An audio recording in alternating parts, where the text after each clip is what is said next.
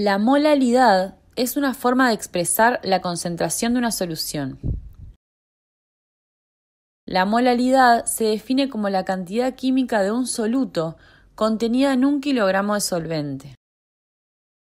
La cantidad debe estar expresada en mol.